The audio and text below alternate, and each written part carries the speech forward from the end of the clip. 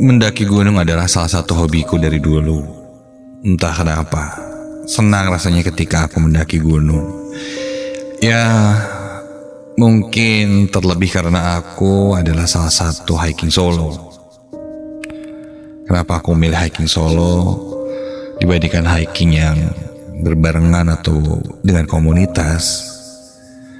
Jawabannya adalah karena aku tidak mau bergantung pada orang lain. Aku lebih menyukai memilih untuk bekerja sendiri. Sudah hampir lima gunung aku daki. Mulai dari gunung yang memiliki kapasitas MDPL rendah sampai yang tertinggi. Baik itu di Jawa Barat sampai luar Jawa Barat. Namaku Andra, mahasiswa semester 6 di salah satu kampus negeri di Bandung. Rumahku tak jauh dari kampusku. Hari itu setelah uas selesai, aku berencana mendatangi salah satu gunung yang berada di Kabupaten Boyolali, Jawa Tengah. Dan setelah melihat kalender, memilih jadwal yang pas, akhirnya aku putuskan untuk berangkat hari Jumat. Melakukan pendakian di hari Sabtu siang dengan estimasi waktu sampai di puncak pada hari Minggu pagi. Setelah menentukan waktu keberangkatan, aku pun segera menyiapkan barang bawaanku. Mulai dari tas karier, tenda, sleeping bag, obat-obatan, makanan berat, makanan ringan, jaket gunung, sepatu gunung, jas hujan, semuanya. Rencanaku berangkat dari Bandung menggunakan kereta menuju Boyolali dan dari stasiun Boyolali Aku tinggal naik bis ke arah gunung itu.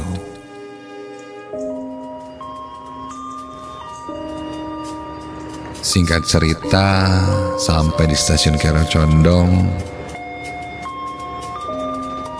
dan aku pun mulai perjalananku.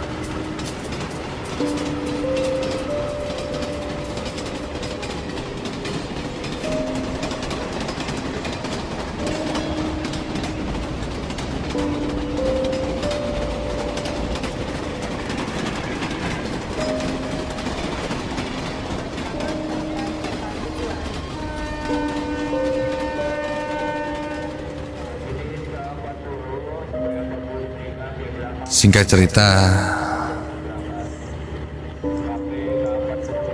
aku sampai di stasiun Boyolali. Suasana saat itu sangat panas, padahal kondisinya masih pagi. Aku keluar dari stasiun mencari bis tujuan Gunung Merapi. Sampai akhirnya Aku pun menemukan bis tujuanku, naik dan duduk di posisi depan.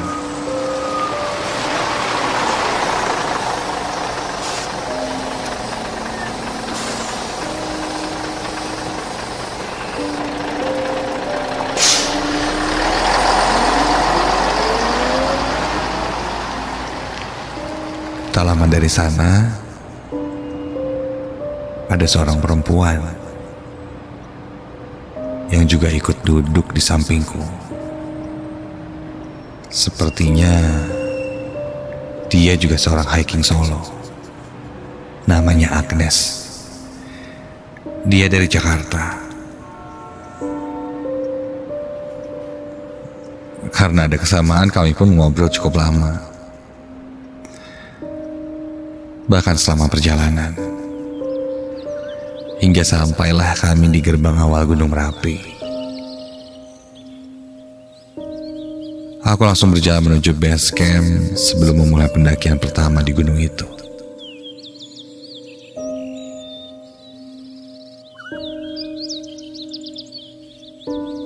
Sampai di base camp, sebelum memulai pendakian, aku periksa kembali mulai dari perlengkapan yang dibawa sebelum mendaki dan segala macamnya. Di base camp kulihat hanya ada lima motor pendaki yang sedang mendaki gunung itu. Hanya sedikit. Sebelum aku mulai, aku sempat berpapasan dengan kakek tua yang sepertinya tinggal di sana.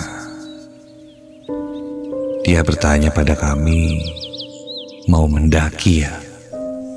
Begitu katanya, menggunakan bahasa Jawa. Sebelumnya aku kurang mengerti, tapi untungnya Agnes paham dan dia lantas memberitahu setelah melewati pos 2 di Watu Gajah, kakek itu berpesan untuk tidak melihat ke belakang. Dia juga berpesan agar selalu mentaati aturan, etika, dan sopan santun. Satu lagi, ketika melewati pasar Bubra, belilah dari pedagang itu minimal dua agar dihormati penjaga gunung ini. Kulihat Agnes pun mengiyakan semua omongan dari kakek itu. Aku hanya terdiam heran. Kami langsung berjalan meninggalkan camp menuju pendakian. Sepanjang perjalanan, kami tak banyak bicara.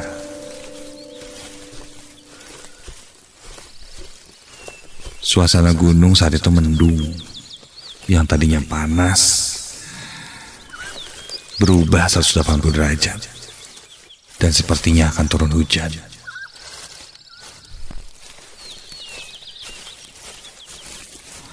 Aku memang hiking solo yang ketika mendaki tak banyak bicara. Agnes juga seperti itu sepertinya. Tapi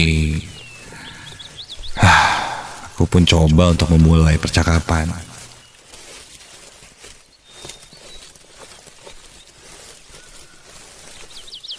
Aku bertanya rumahnya di mana, kuliahnya, bakal sampai menyinggung soal masalah pribadi. Tapi ternyata yang kupikir Agnes agak tertutup, dia justru terbuka. Sangat menyenangkan mengobrol dengan dia. Kami mulai berjalan cepat karena aku rasa pos satu sebentar lagi akan sampai. Setelah sampai di pos 1, kami memutuskan untuk beristirahat sejenak sambil merebahkan kaki. Setelah cukup istirahat, kami lanjutkan perjalanan. Ketika lanjut perjalanan, kami pun bertukar posisi. Kali ini Agnes berjalan di depan dan aku di belakang. Ketika bertukar posisi, Agnes hanya bilang padaku, jangan menengok ke belakang. Begitu katanya.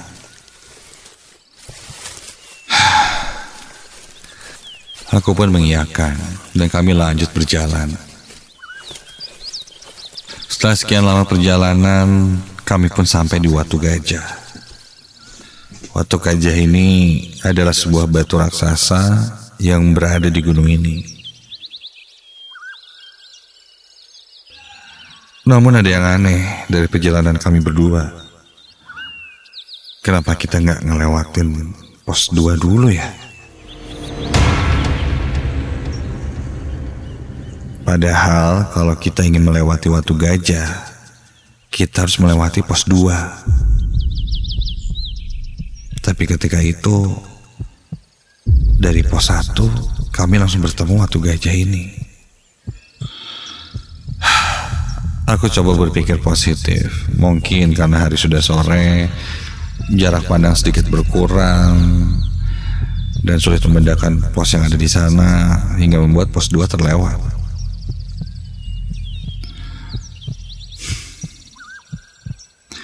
Sampai di waktu gajah, kami pun beristirahat sejenak. Kulihat Agnes sangat kelelahan. Aku pun demikian. Aku pun mengambil air minum dari tasku. Karena aku gendong tasnya, refleks tak sengaja aku lihat ke arah belakang. Dan ketika aku lihat, aku sempat melihat ada orang berdiri di salah satu pohon di sana. Dari perawakannya, Sepertinya seorang perempuan.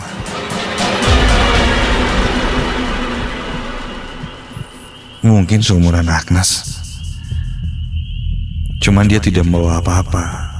Mukanya sedikit pucat. Dia mengenakan jaket gunung berwarna kuning gelap dan celana berwarna hitam. Rambutnya terurai lumayan panjang. Aku cukup terkejut.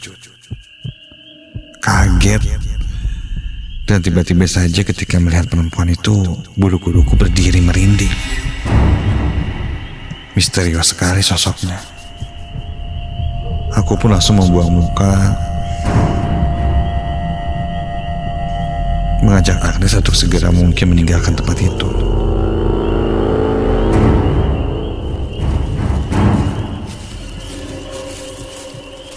Suasana malam semakin gelap. Suara burung malam mulai terdengar, ditambah binatang-binatang malam lainnya. Ditambah lagi jalan menuju arah puncak semakin lama semakin mencekam. Agnes mulai bicara ngelantur. Bahkan terdengar sedikit sompral. Katanya dia melihat sosok pocong lah. Sosok hantu perempuan dan lainnya. Aku tidak sempat mengingatkan Agnes untuk tidak bicara sompral. Namun sepertinya dia tidak mendengar ucapanku. Kulihat langit sudah benar-benar gelap sekarang. Kami putuskan untuk berkemah dan mendirikan dua tenda. Masing-masing tenda saling berhadapan-hadapan. Entah di mana saat itu kami mendirikan tenda. Yang pasti, tadi aku sempat melihat map jalur pendakian dan ku ingat sepertinya ini pasar bubra.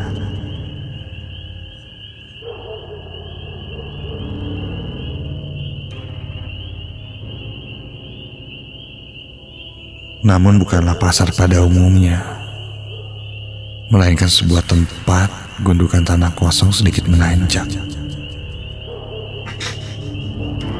Aku jadi teringat dengan ucapan kakek tua tadi. Katanya kita harus membeli sesuatu di sana.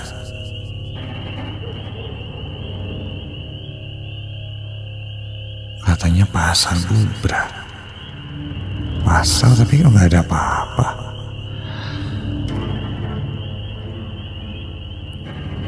ketika kuliah tidak ada apa-apa di sana.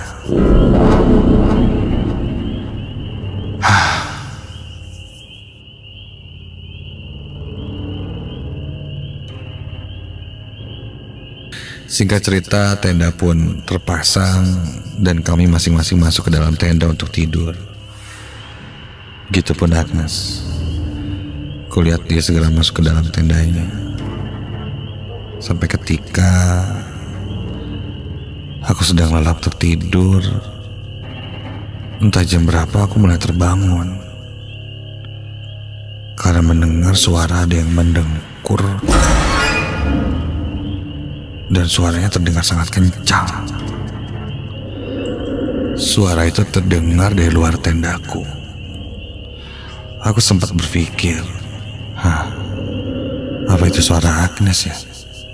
Masa sih dia ngorok kayak gini dan suaranya kenceng banget lagi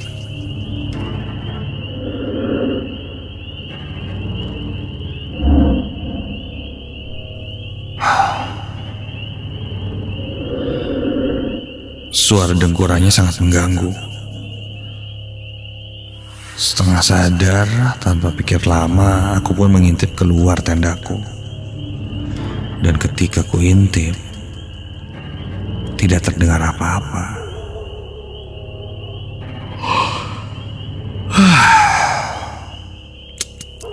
Aku pun lanjutkan untuk tidur. Mungkin aku salah dengar. Sampai Tak lama suara itu terdengar lagi. Kali ini lebih jelas. Dan sangat jelas seperti suaranya berada di dalam tendaku.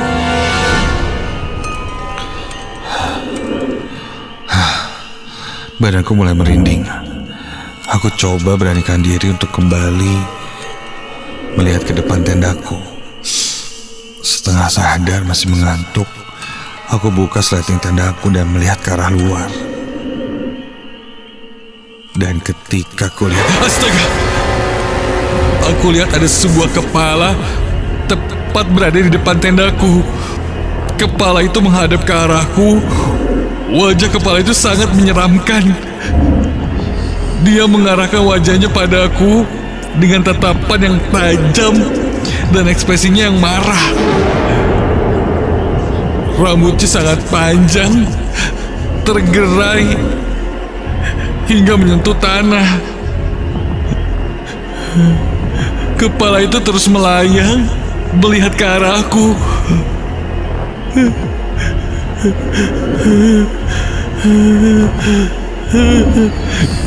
Dan semakin mendekati wajahku. Aku tidak dapat menggerakkan badanku.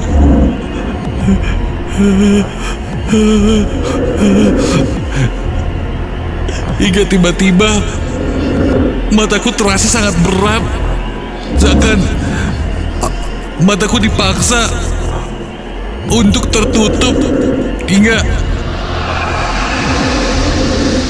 semuanya menjadi gelap dan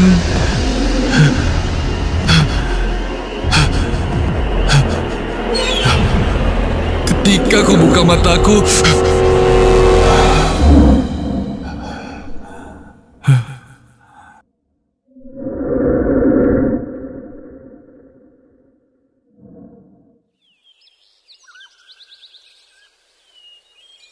hari sudah pagi. Sepertinya malam itu aku tidak sadarkan diri. Kepalaku terasa pusing. Kuda di depan tendaku Agnes sedang menungguku. Di depan tenda sambil duduk.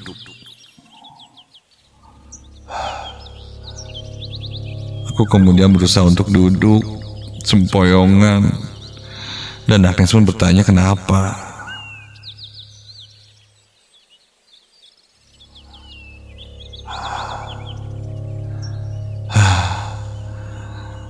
Aku bilang semalam aku diganggu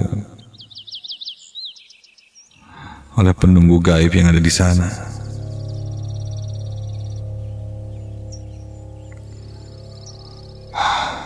Dan setelah dipikir-pikir lagi,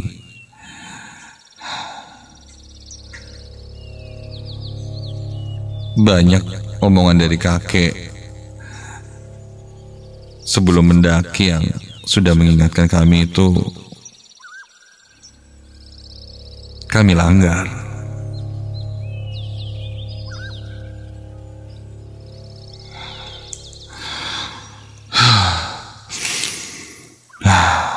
Mitos di gunung memang sebaiknya tidak pernah dilanggar. Baik itu yang logis ataupun yang tidak logis. Karena sejogjanya alam mempunyai kekuatannya sendiri.